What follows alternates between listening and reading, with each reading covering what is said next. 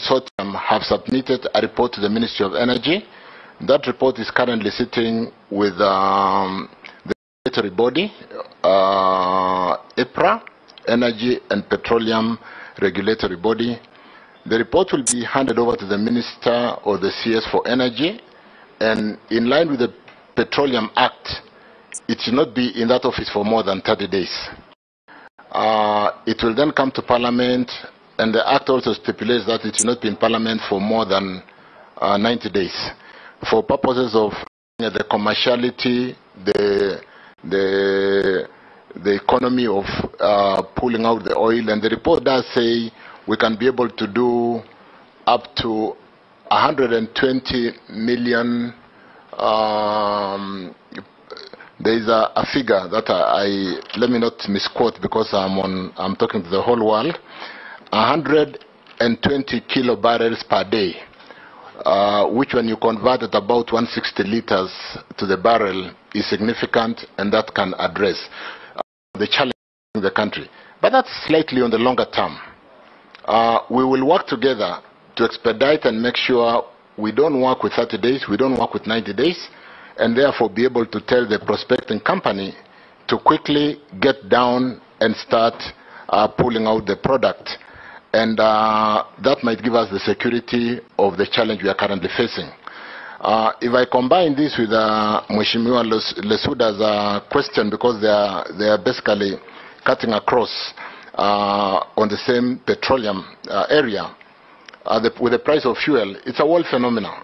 The challenges of uh, Ukraine and Russia and the US and Canada refusing to buy, putting embargo against buying that product, um, created the supply-demand challenge. And uh, you, we may not be aware, but if we read, we know that the fuel prices uh, in the UK, in Canada, in Singapore, are, running at, I was reading, Singapore is going at $9 to the liter. When I converted, that's about uh, 300 shillings to the liter. Uh, we don't think this um, Ukraine-Russia uh, Russia challenge will be forever, but certainly we need to mitigate and address our challenge. And um, I think it's uh, an opportunity to think out of the box and ask ourselves, how can we be self-reliant? And that's why I was saying, let me cut across with Dawood's question in terms of developing quickly what is ours so that we are not over-reliant on uh, the other economies out there. And while reading that, I found a quote by Joe Biden that said, uh, when we are out of this challenge, we'll be stronger, uh, we'll be stronger, and the world will be stronger and less reliant on, on fossil fuel.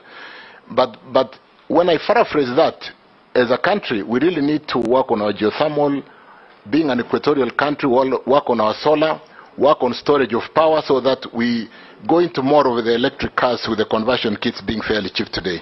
So yes, it's a concern, it's a global challenge, and yet we think we are going to come out of it more stronger, uh, Mheshimiwa Lesuuda.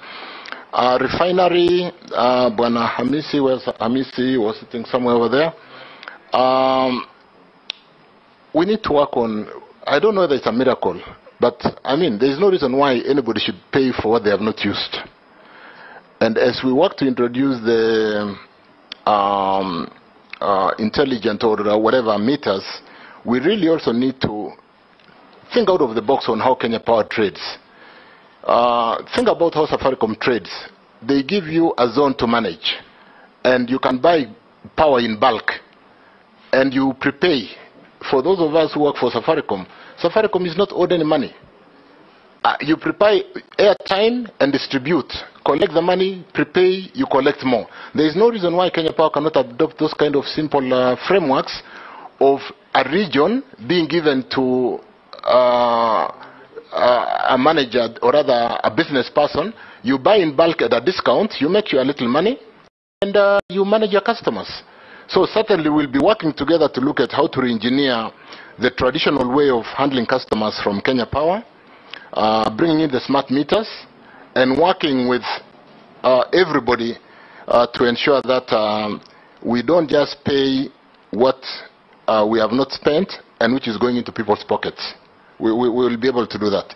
Raso Marsabit, I passionately loved that county when we were developing the wind power projects. There is no reason why the developer on the project, you know, when you develop 400 megawatts, there is the power which is retained to manage the equipment. Um, and, and that power should have really uh, looked at the community of interest. We need to sit down and look at using the organic, the power that, when you develop 400, we have possibly retained 20 for the use to manage the equipment because they need power to basically uh, support the operations within the, the site. And it should really, it shouldn't be asking for too much uh, because I think the power we need within the community will not be more than three, four, five megawatts. And, and therefore we need to revisit and under the act where the resource sharing of um, local resources with the community, the county and the national government, we should see how to support the community around Marsabit so that we do not just evacuate power the way we evacuate water out of Muranga and the locals uh, just see the the, the, the power going out of their, their county and they, they don't benefit. So we, we can look at that. Um, I think I did combine your question with, with, with, uh, with